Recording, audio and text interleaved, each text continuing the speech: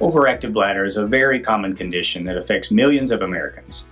It's a combination of things like having to go to the bathroom more frequently than usual, or having that sudden urge to go and not being able to make it in time, and sometimes leaking urine before you get there.